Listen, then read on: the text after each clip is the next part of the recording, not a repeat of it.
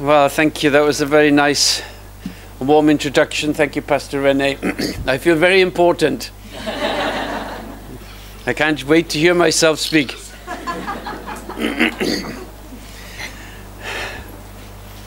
Good. Well, I'm just having a little look at you. I haven't been able to see you tucked away in the corner. Now I'm able to look at you. And now I need to look at my watch. That's very important for you to see me doing this. It's nearly 10 past 12.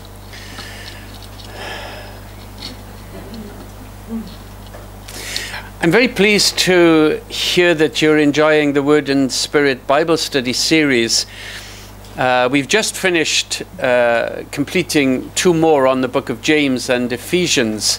And the reason why I wanted to do this about a year ago, I suppose, was because increasingly I was sensing in all my travels throughout the world, and especially in the Pentecostal and charismatic churches, that although we love the Bible greatly, it is becoming less and less significant in the lives of many Christians. And it's the same in the evangelical world as well. And part of the reason is because we live very busy lives. But another reason is because we are losing sight of the fact that this is a very accessible book. We've begun to feel concerned that is it believable? Um, is it reliable? Is it authentic? Is it accessible? And these questions have resulted in many of us as Christians not spending time in the Bible as we might have done 20, 30 years ago. I even see it in the lives of students who come to theological colleges where their knowledge of the Bible is less than it was 20, 30 years ago, which worries me as to what is the status of the Bible in the churches where they have spent their lives before coming to college. And that was the stimulus for me to try and uh, expend some time on offering some Bible study series where the emphasis was on discovery, exploration, and transformation as a result of bringing our gifts of curiosity to the text, which was always intended for us to encounter God when we read it. Too many Christians think of this as being a, a, a database of dogma or an encyclopedia of theology. It's where we get our doctrines from. That's true. But sometimes we lose sight of the fact that actually this is the place where God intends that we meet Him. Not just that we learn information about Him, but it's where we come, we bring our lives to this altar of sacrifice, and He comes to meet us here and to speak to us here. And when the gospel writers presented their gospels, as I hope you will have discovered with the Gospel of Mark, they never intended that they would be simply writing history about aspects of the life of Jesus. They thought that this would be an opportunity for us to encounter Jesus personally at that moment of time. So I'm very pleased to hear that, that you're doing that. Today, we're going to spend time looking at the Holy Spirit. I'm always a bit nervous when I focus on one member of the Trinity and not the other members of the Trinity. I fear that they might be a bit offended. I, I don't really fear that. But we're going to focus on the Spirit rather than Jesus, rather than the Father, partly because the Spirit has been somewhat marginalized in the lives of many Christians today. Certainly in the lives of Christians who are outside the Pentecostal charismatic fold, but even within the Pentecostal community, there is a sense that we believe in the Spirit, we anticipate encountering Him, we anticipate experiencing Him, but I wonder whether we really appreciate just how remarkably comprehensive His agenda is for us. I mentioned in the first service that I had, for much of my early Christian life, two main reasons why I thought the Spirit was involved in my life as a Christian.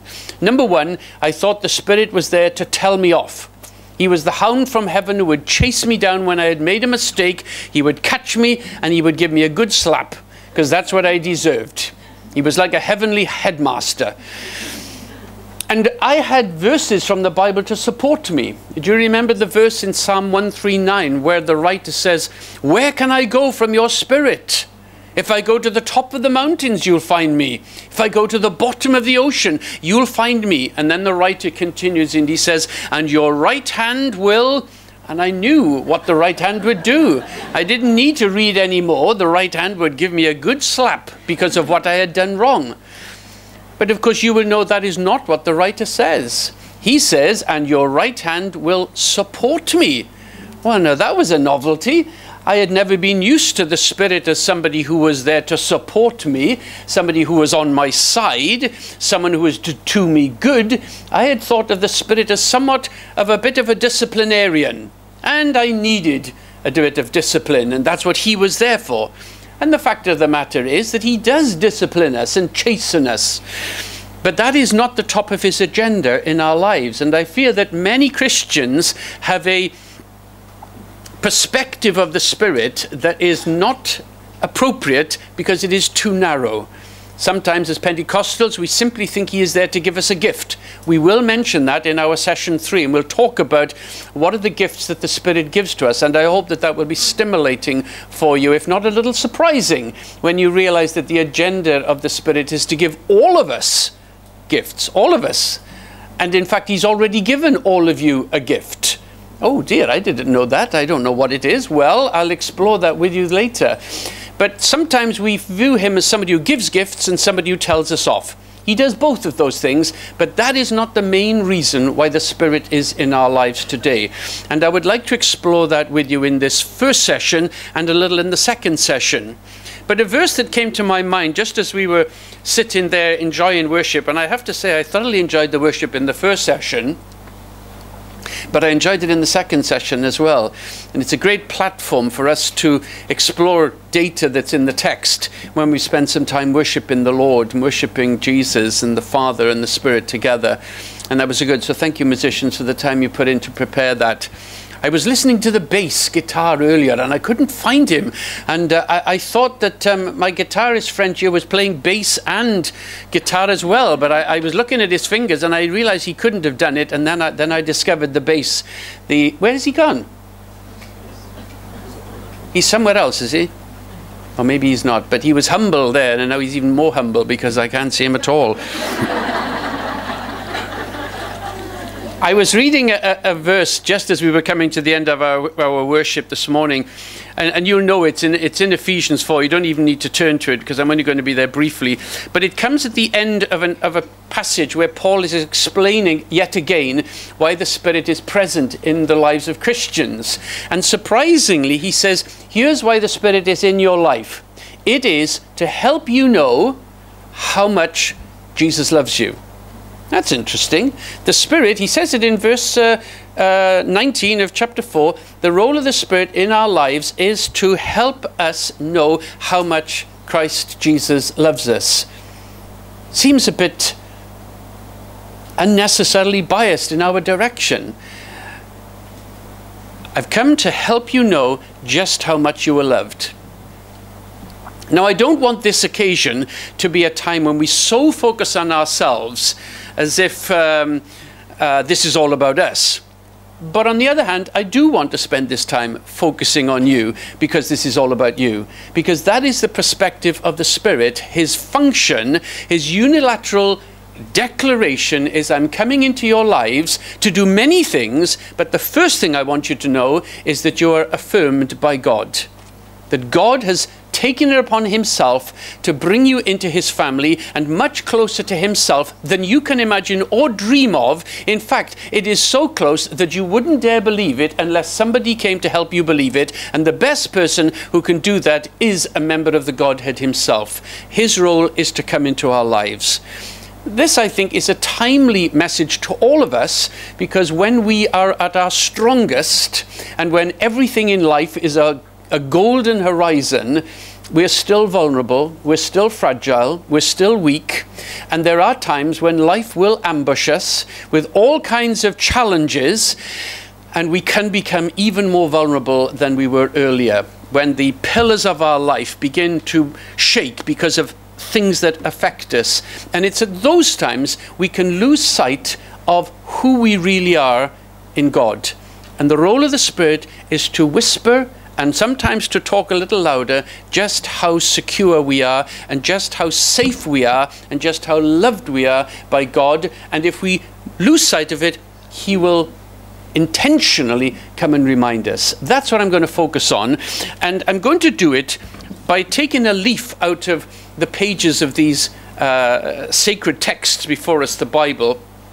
Because in the first century, when the writers were trying to explore who the Holy Spirit was, they had quite a mountain.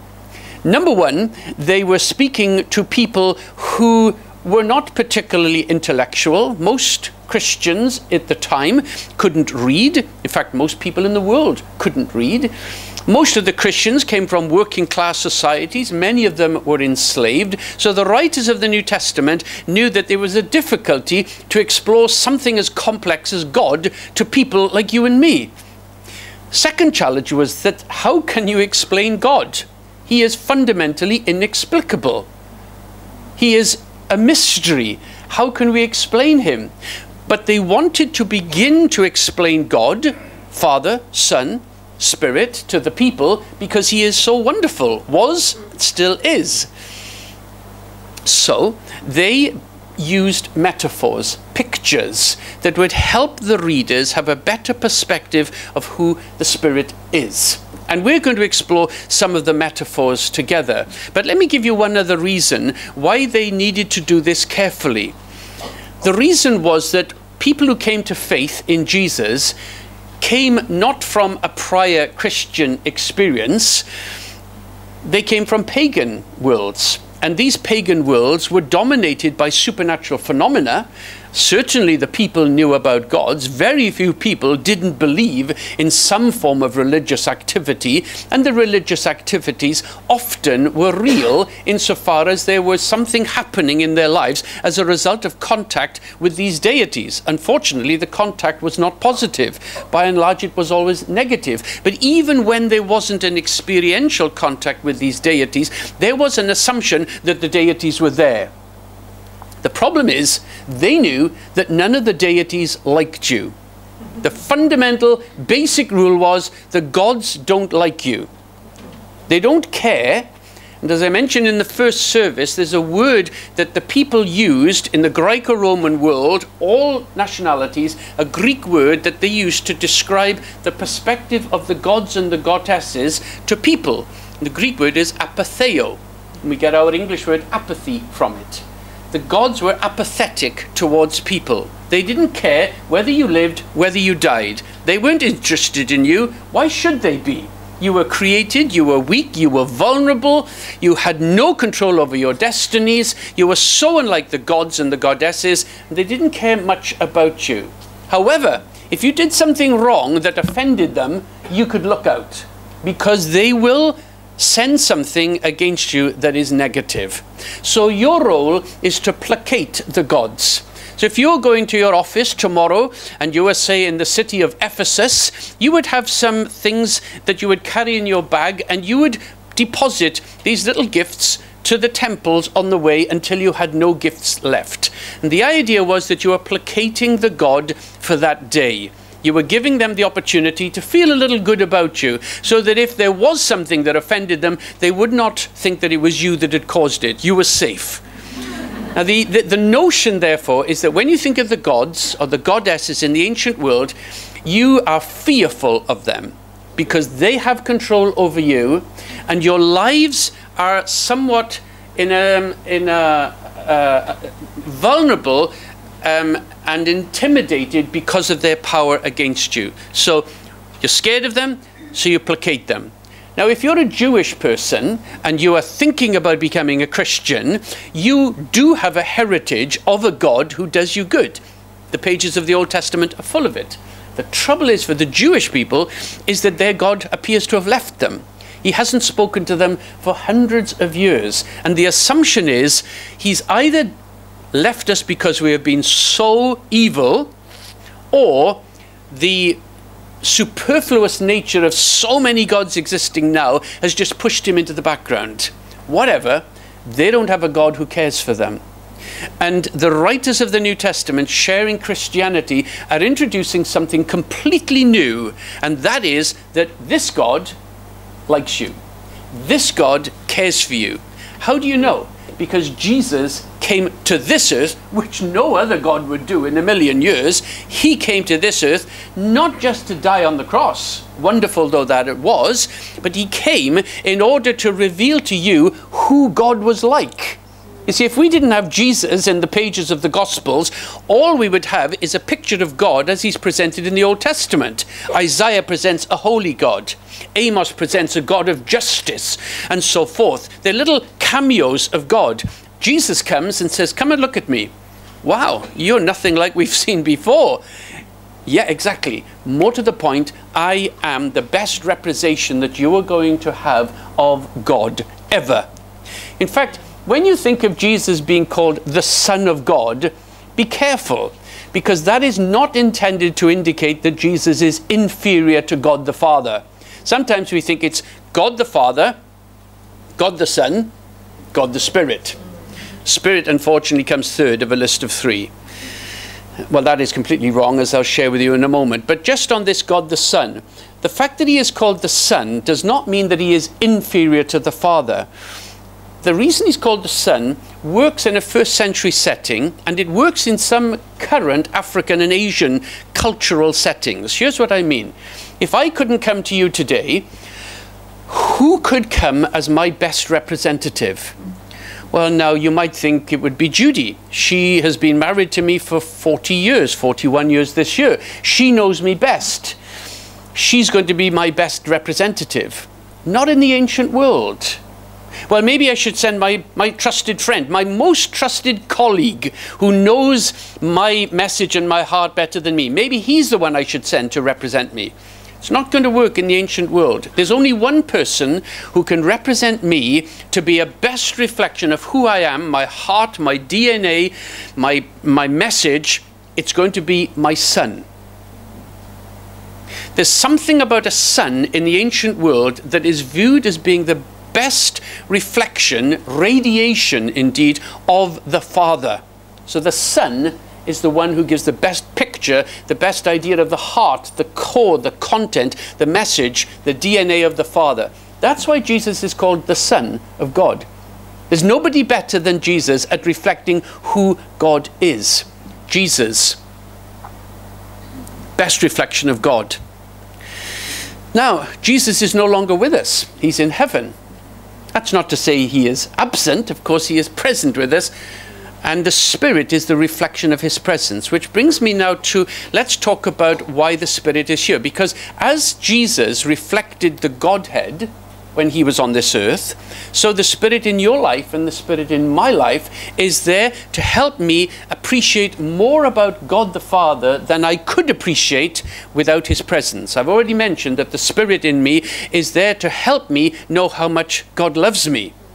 I've already hinted at the fact that he is there to tell me off from time to time, to gift me from time to time, which we'll talk about later. But I'm coming back to focus on what is the Spirit trying to tell me about God's perspective of who I am right now. However long you've been a Christian, however young you are a Christian, however high you are in the level of spirituality as you perceive yourself, what does God think about you now? Spirit, will you please whisper in my ear because I'll be very interested to know. Well, in answering that question, I need to come back to what I mentioned earlier about some of the metaphors that the writers of the New Testament use when they are wanting to focus on the Spirit. So, for example, the New Testament will associate the concept of fire with the Spirit. Do you remember when John the Baptist speaks about Jesus coming and says Jesus is going to come and he's going to baptize you with the Holy Spirit and fire? Think you probably will have touched on this when you looked at the Gospel of Mark and the reference there. Fire is associated with the Spirit, oil is associated with the Spirit. The day of Pentecost, tongues of fire come upon the heads of the people who were there, and a powerful wind comes into the room. Wind that moves you on. Wind is associated with the Spirit. Water is associated with the Spirit.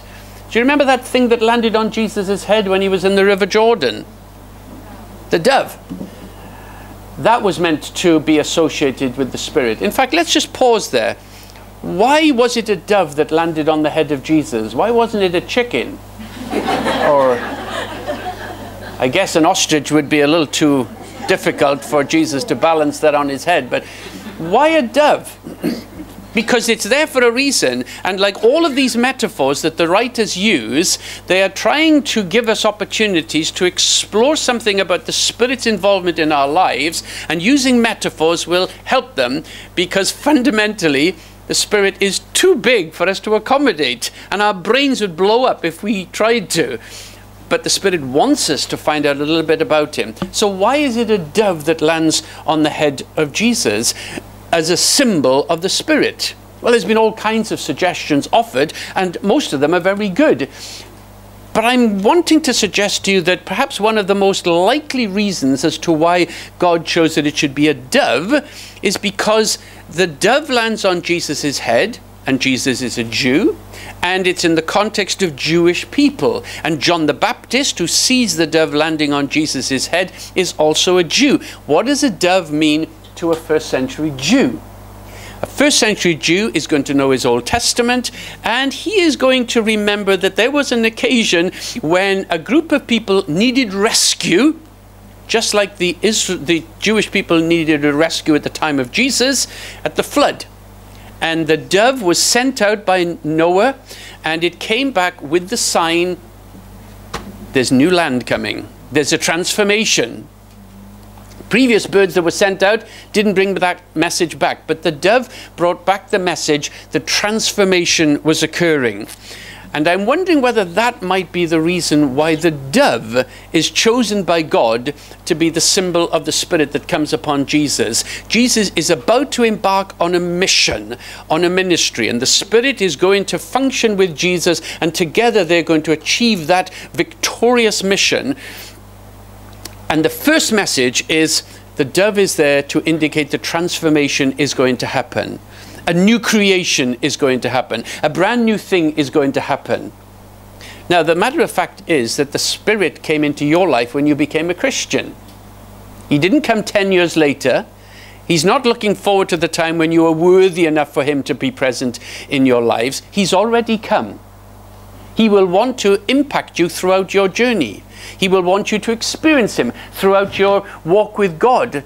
He will want you to encounter Him once, twice, three times, four times, countless times throughout your journey until you meet Jesus in the next life. But He started to ent- he started to participate in your journey at the moment you started your walk with Jesus.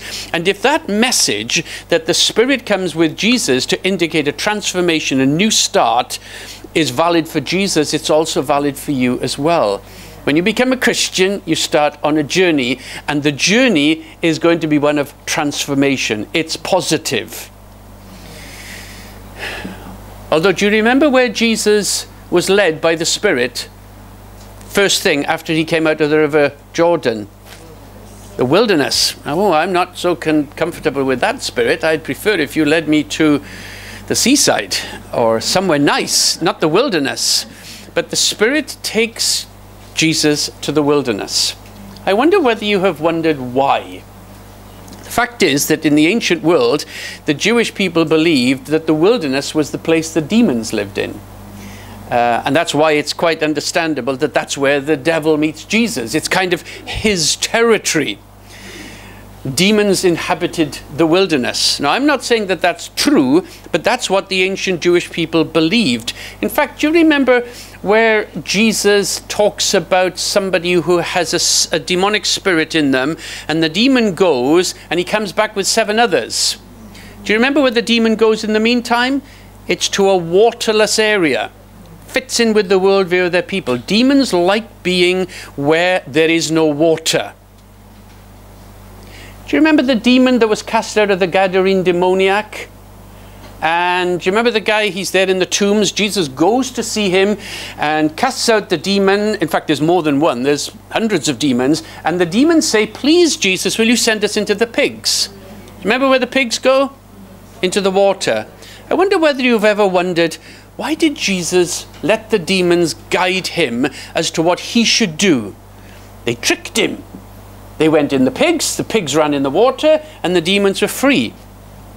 Do not underestimate the wisdom of Jesus. Jesus is never threatened by demonic advice. He's quite happy to let them think that they are advising him, but the fact of the matter is that they know full well that they are creations and they are in the presence of the Creator. At the same time, remember when the devil meets Jesus in the wilderness, never think that these are competing foes and they're almost on the same level as one another. And dear me, it was a tough time for Jesus. But just by the skin of his teeth, he won the battle. Don't think like that. Jesus has been with his Father for 40 days. If the devil had any sense, he would have started tempting Jesus on day one, not waited to the end. Jesus was at his height of spirituality. Jesus was God.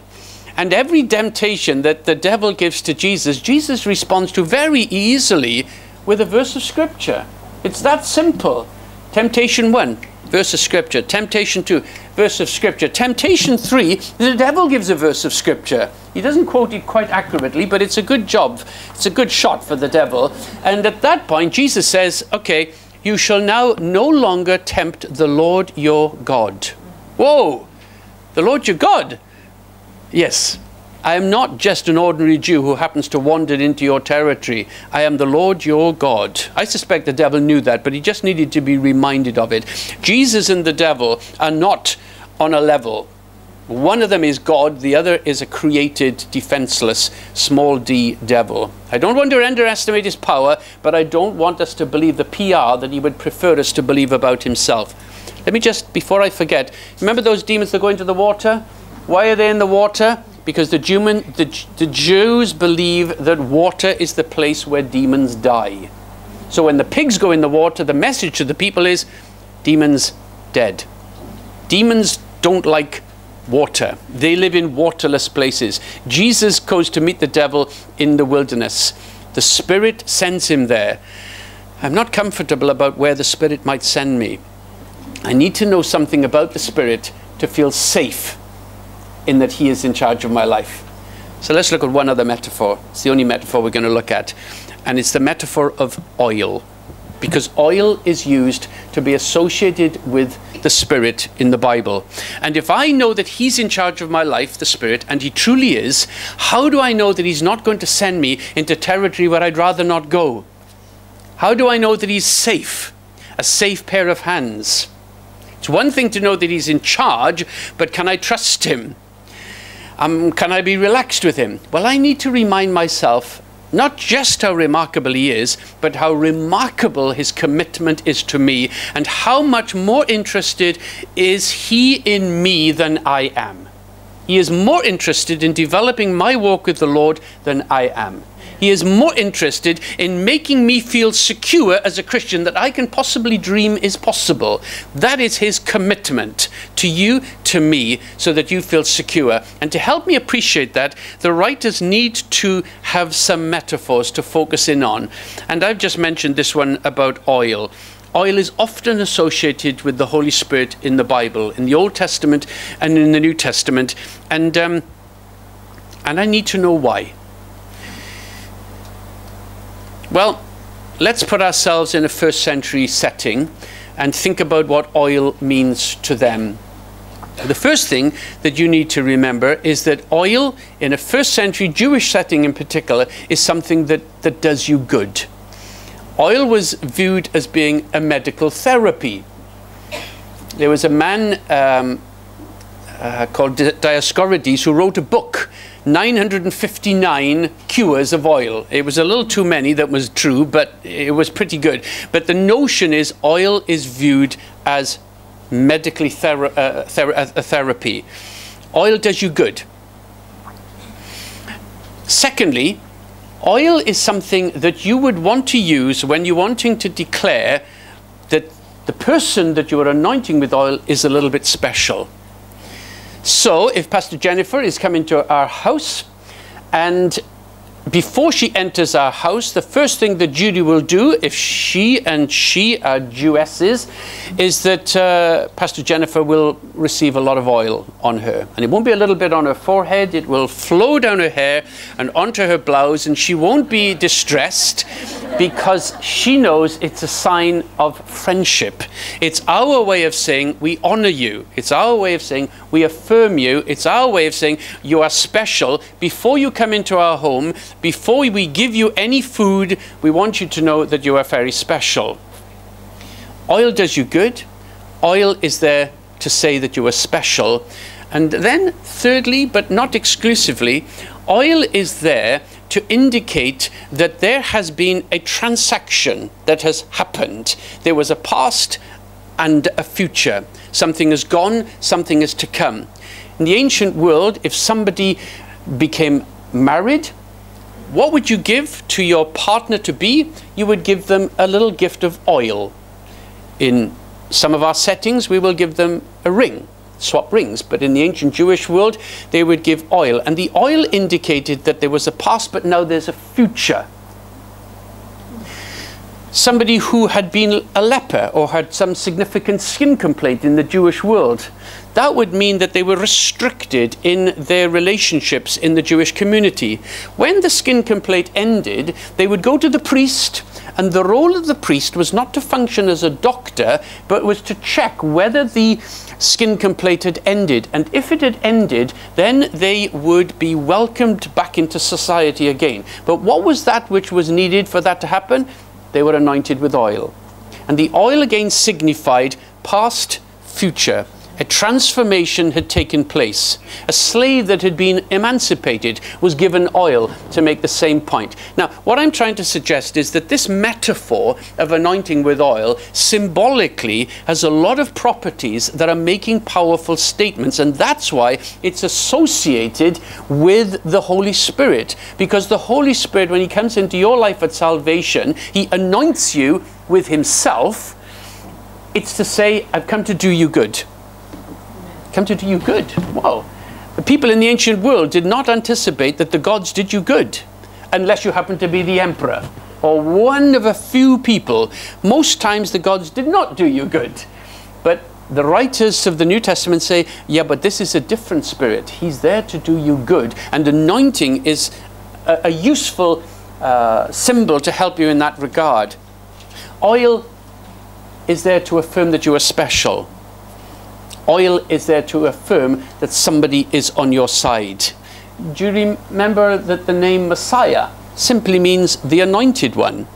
Mashah, from the Hebrew, Mashah. And that again gives the impression that the ordinary person, because the Jewish people do not believe that the Messiah is a member of the Godhead, they believe that he is a person who's anointed by God with some special powers. He's called the Anointed One you are Christians, and that means that from the moment you become a Christian, the Spirit comes in your life, and it's His way of saying, I'm anointing you with myself. What does that mean? It means I've come to do you good. It means I've come to remind you that you are special. Kings, when they were anointed by the prophets, oil was poured on them. When it happened with David, the, the writer Samuel says the Spirit rushed on him. The point is that anointing with oil is associated with the presence of the Spirit. You become a Christian, the Spirit has come in your life. You haven't had to ask Him to come. It's too late if you ask Him to come. He's already come. He's participating in your journey from the start because He is more desirous of giving you opportunities to encounter God than you are to receive them. He is more interested in talking to me and giving me the opportunity to share that with others more than I might dream. That's why I need to keep reminding myself of the significance of these metaphors. Oil is there to do me good, to remind myself that as far as God is concerned, I'm special, and to remind myself that God's on my side. He is, as Jesus describes him, the paraclete, the parakletos, called to be alongside of us. Para alongside, kletos, to be called. On that day when Jesus was with the disciples and he told them that he was leaving them, their hearts would have churned with fear. What do you mean you're leaving? How can you go? And he's already told them that they're going to do more than he did. And now you're telling me you're going. How on earth can we do that? It's because another comforter is coming, another counselor is coming, another advocate is coming, and he will walk with the disciples even closer than Jesus, because Jesus can only be in one place at a time, whereas the Spirit can be in many places at the same time. And his commitment to you is the same to me, is the same to Jesus. This is a truly remarkable spirit. I've done again. I can't remember what time I started. Oh, it's very gracious of you. I'm going to take you to one verse together, and I'm going to take you to Galatians chapter 4, verse 6. If we had time, we could look at other metaphors of the Spirit, and it will be interesting the, the statements that they are making. But we're going to focus on this verse because it will particularly relate to what I want us to be taking with us into the rest of our day together. This is Paul speaking to the churches of Galatia, which is in the southern part of modern day Turkey. A mongrel group of people, uh, very racially mixed, uh, quite difficult to govern as far as the politicians of the day were concerned, and they've come to be Christians.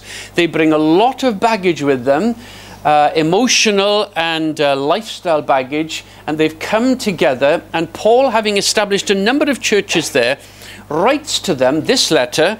And when he gets to chapter 4, having reminded them that in Jesus they are one family, when he gets to chapter 4, he speaks about the significance of the Spirit in their lives. And we'll see how it merges in with this metaphor of the Spirit being like oil that does us good. This is what he says in chapter 4, verse 6. Because you are sons and daughters, God has sent the Spirit of His Son into our hearts, crying, Abba, Father. In other words, in one little verse, Paul has encapsulated the reason why the Spirit has come into the lives of those Christians. It's not the only reason why the Spirit has come into their lives, but it is a major reason. In the book of Galatians, Paul doesn't talk about the fact that the Spirit has come to give gifts to Christians. He doesn't talk about the fact that the Spirit has come to transform us, to chastise us from time to time when we're not quite getting it right. But what he does in this verse tell us what is of major importance to Paul and to his readers as to why the Spirit is in their lives. And it is something that too many Pentecostals have lost sight of.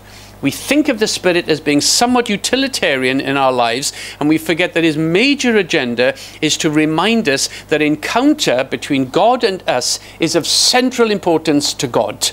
Because God actually, although we sing it, he actually does love us, and he loves it and he, he loves us and wants to manifest that love for us in many different ways.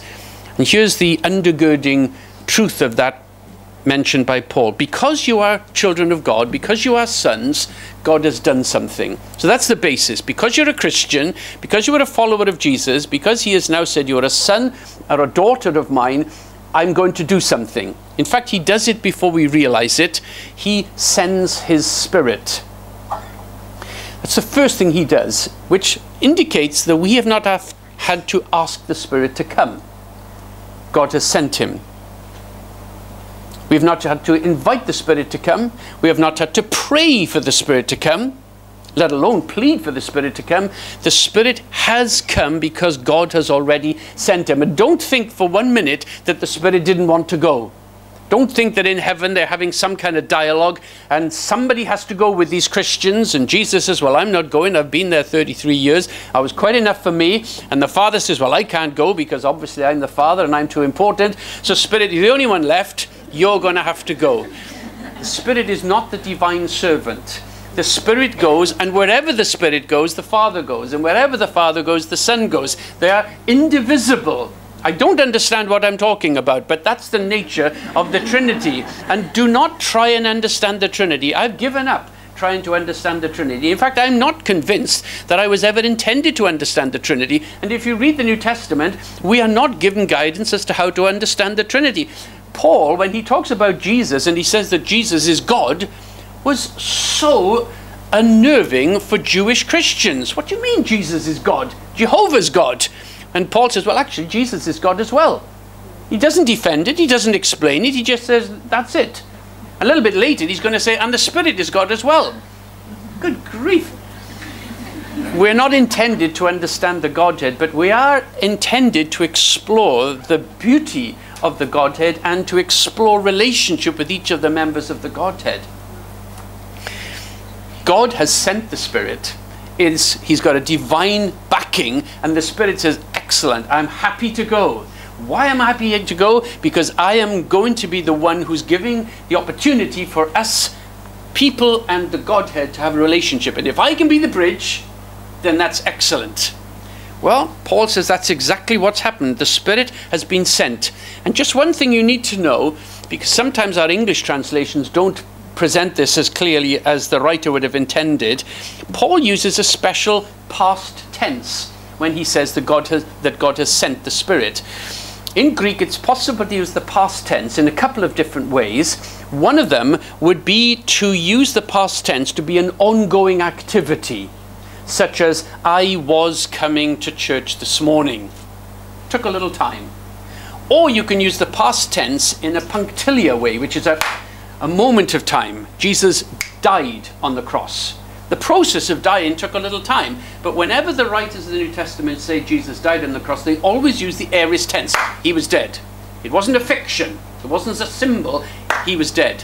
And here, the writer similarly says God has sent the Spirit. It's not that God is in the process of sending the Spirit or that God has sent the Spirit and He's in the process of coming. No, He's come, He's been sent, it's happened.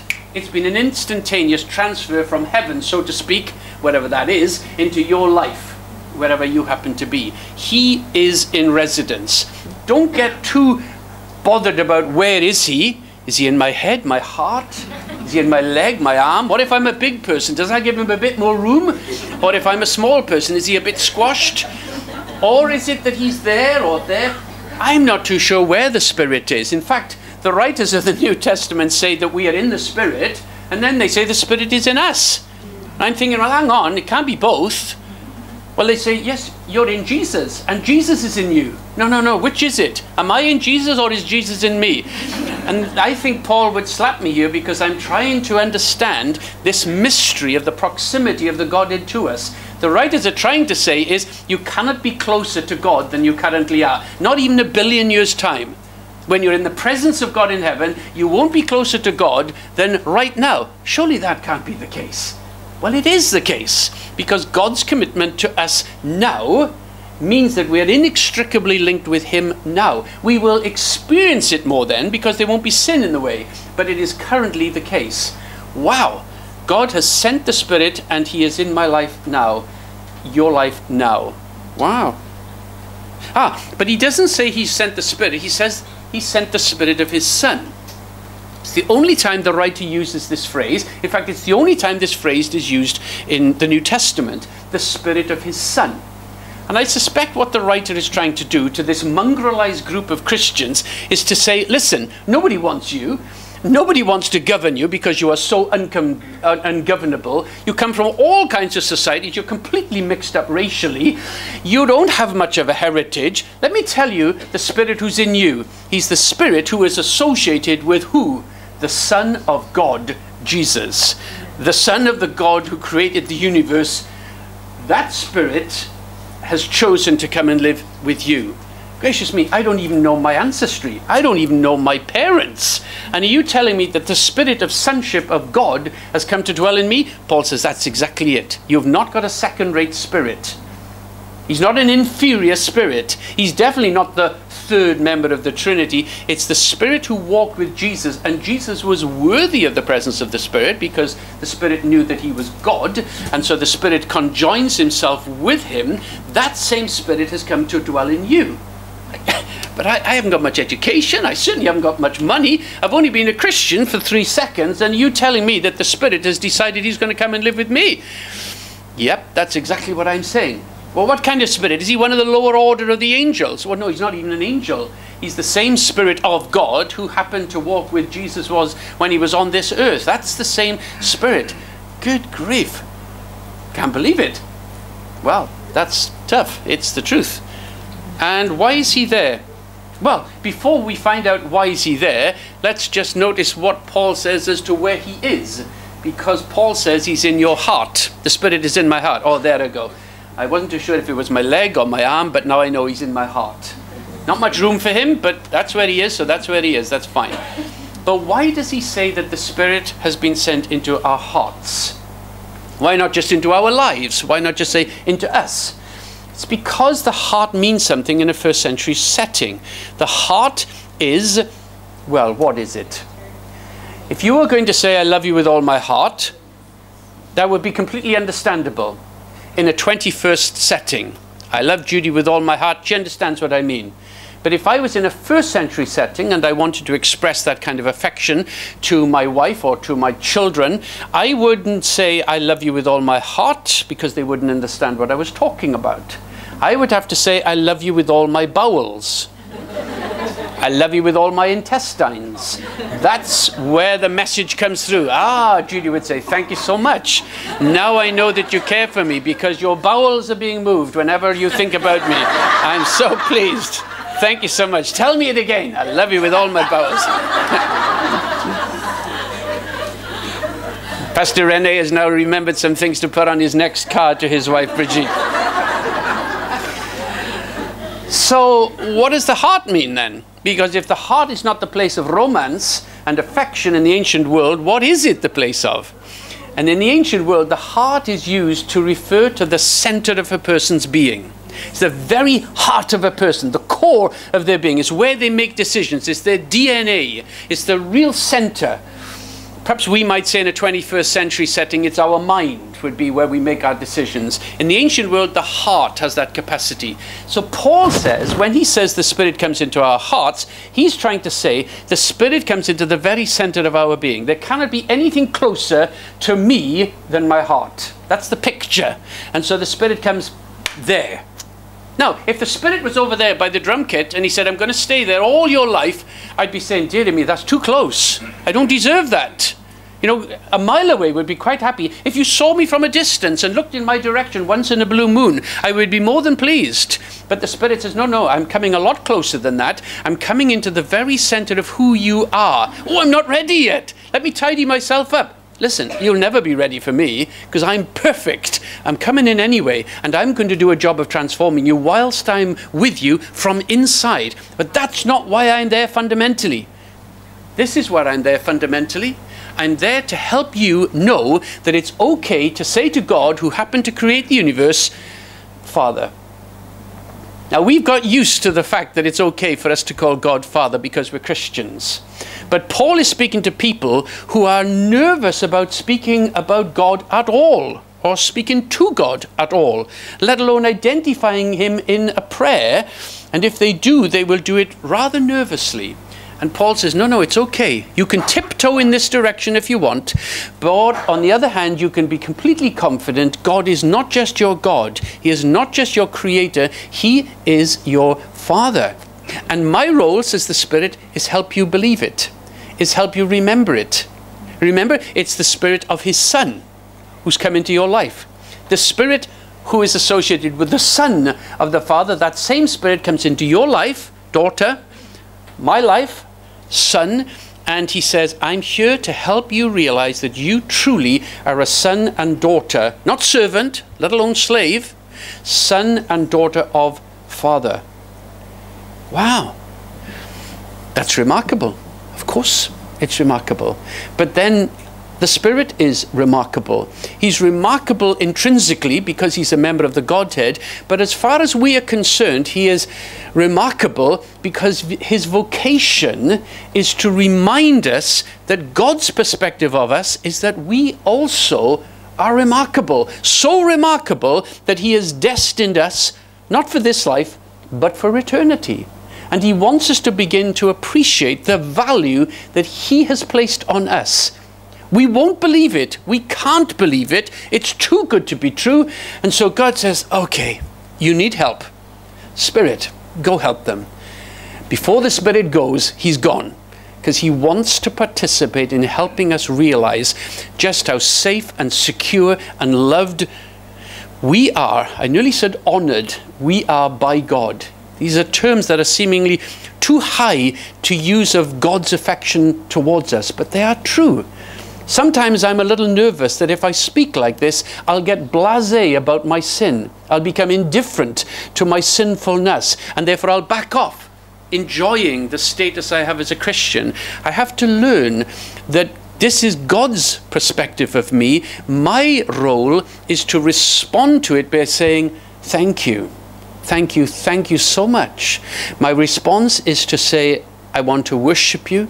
And out of my worship, I want to somehow live up to the status that you have called me to, even though I never will do it, but I want to be moving in that direction. But at the end of the day, we will never have lived up to it, but God knows that, and He still gives Himself to us completely because this is a statement about Him more than a statement about us. He is a unique God who loves and does good to ordinary people like you and me. Our response is to say, I can't believe it. This is too good to be true.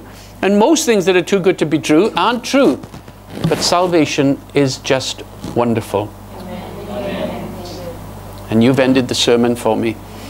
So let me just thank God on behalf of us all.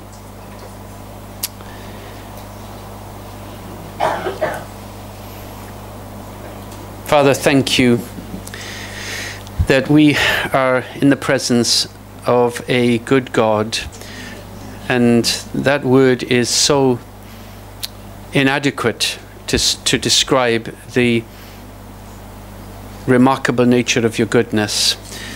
And yet, practically, what's more remarkable is that you have chosen to allow us to enjoy the goodness that defines you, and you have allowed us to enjoy it practically. Thank you so much. Thank you, Jesus, for being our Savior. Thank you, Spirit, for being our teacher, for being present in our lives. And our response is to say sorry for those times when we have not realized just how much you love us. And please help us to worship you back for who you are. Thank you. Amen.